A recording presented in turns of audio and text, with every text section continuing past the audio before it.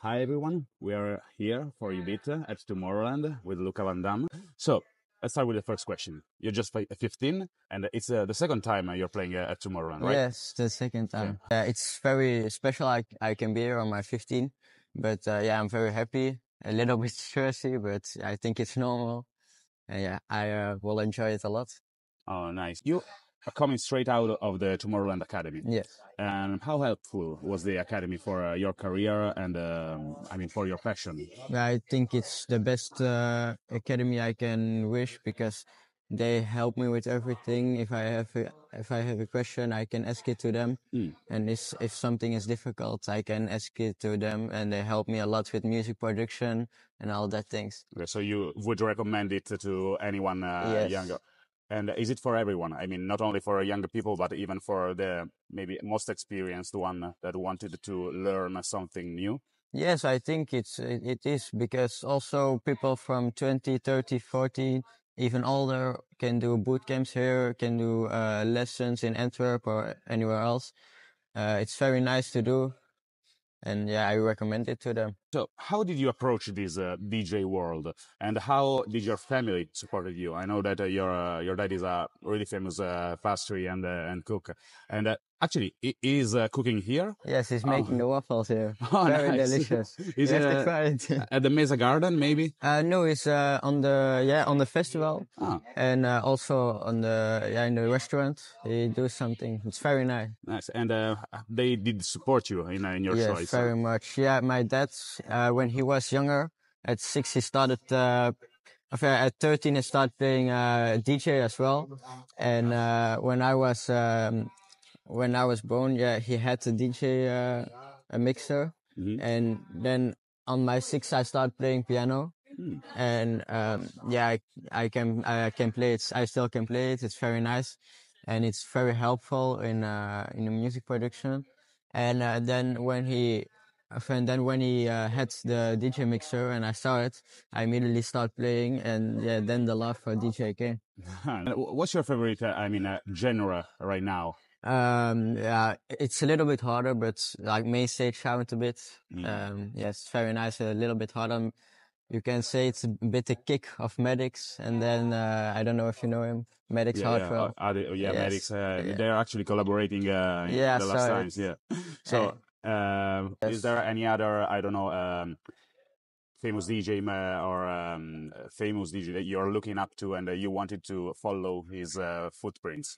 I think Hardwell, Dimitri Vegas, like Mike and Armin van Buuren, that are the DJs that now play a little bit the same style, Mhm. uh, hard, but every every people of everybody know uh, what they do and the music they play, and I think that's very important because yeah, the people are always dancing with uh, if they play. So I think one of that three Mhm. is my idol.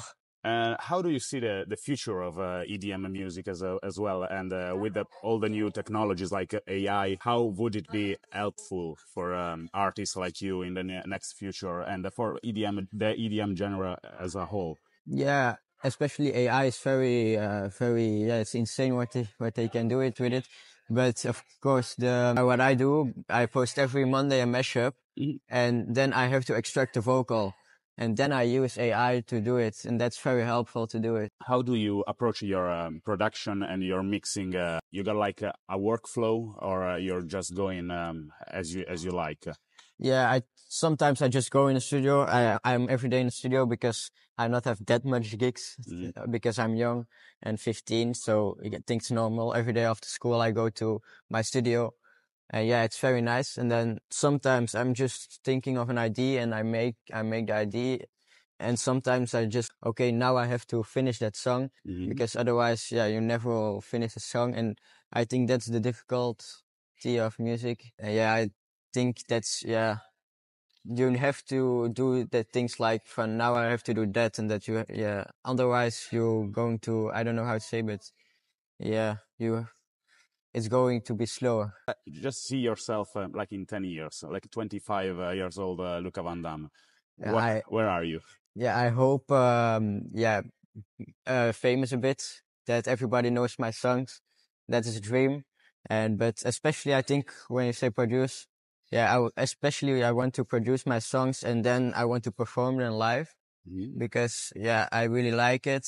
Today I'm also going to play an old song of me and a lot of mashups and remixes. Nice. So yeah, that's very stressy for me also. But yeah, I think that's the yeah, I love it to show my music to people and to play it for them. So I think in ten years I want to be a DJ who has famous songs and that everybody can sing it, and then I play on Tomorrowland and they know it. Nice. Uh, one last question. How do you manage, uh, I don't know, maybe the stress? Uh, I, I think maybe in the last uh, years um, when uh, you came out of the academy and started playing, uh, even last year at Tomorrowland as well, do you feel any stress or any burden, mental burden about it? Yeah, I'm of course I'm stressy, but it's health stress. I don't know if that's English, but in Dutch we say it. Yeah, but of course I'm play I play on Tomorrowland. I think every DJ has a little bit stress when he plays here.